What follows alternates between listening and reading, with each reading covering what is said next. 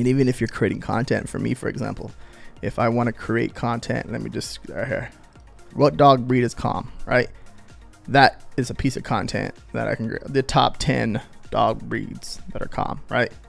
All right, guys, yo, what's up? What's going on? In this video, I'm gonna show you guys how to use this tool called SEO Minion. Really awesome tool. It's a Google Chrome extension, but it's freaking so powerful that I'm gonna explain it to you guys in this video. And make sure you guys give this video a thumbs up. And if you haven't subscribed to my channel, subscribe to my channel and hit that notification bell because it helps me. All right, so I came over here to Google, typed in Bulldog, and first, first and foremost, right here, here's a tool. It's called SEO Minion. You can see it has over 100,000 users. If you're not using this tool, make sure you it's a Chrome extension. So just go to the Chrome store, install it. I'll put it down below in the description and it's gonna give you a ton of information. I want you guys to think about it this way. So think about your niche or whatever niche that you're trying to attack. What we're going to do is the example is like the bulldog niche. So okay, English bulldog, whatever bulldog. so Google came to Google, typed in bulldog.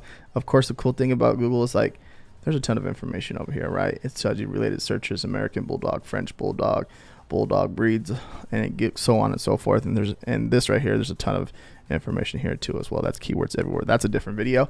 But for this example, it's like, okay, let's say I'm new to this niche and I don't know nothing about bulldogs. Okay. My goal is to see, like, I want to learn the niche. I want to figure out what people are searching for.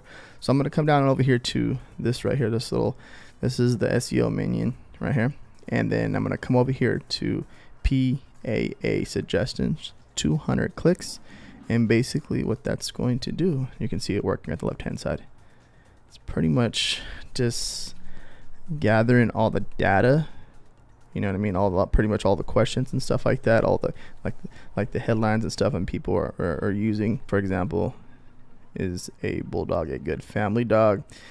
Why English bulldogs are the worst why are bulldogs so aggressive um, people also ask. Basically, just asking. You know what I mean? It's, it's scraping Google for all that. So that is what PAA stands for, and it's gathering all the information. Okay, and it's gonna put it into a spreadsheet for us.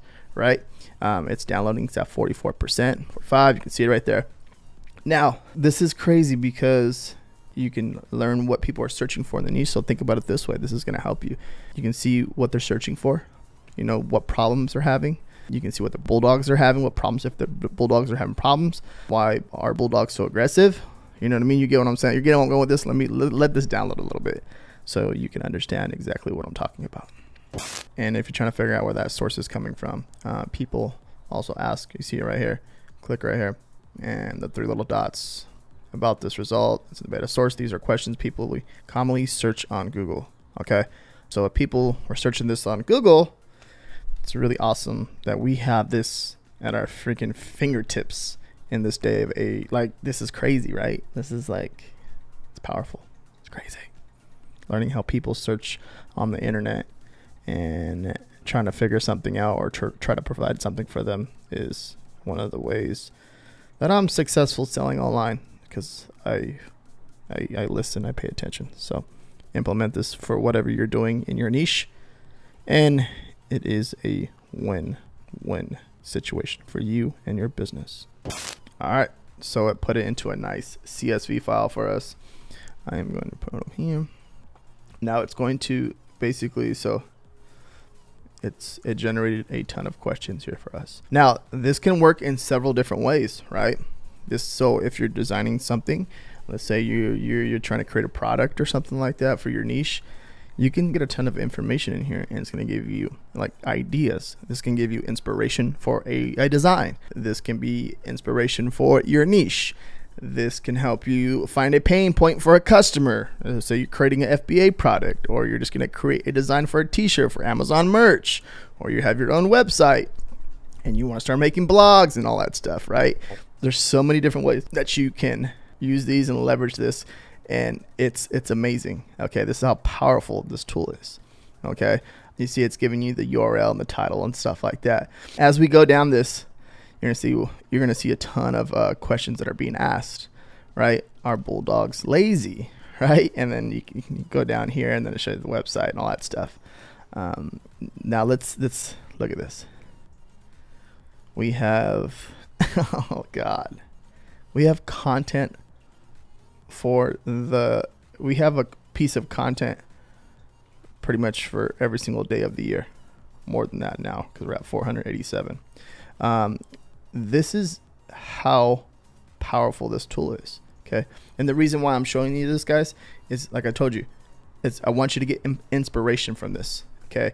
If you're looking in here and you're trying to figure out what are bulldogs, what do they do, or what are people searching for in the niche, because literally once you figure out what are people are searching for in a niche, and you give them a product or a solution, are you fixing the problem, right? You just win, right? You win.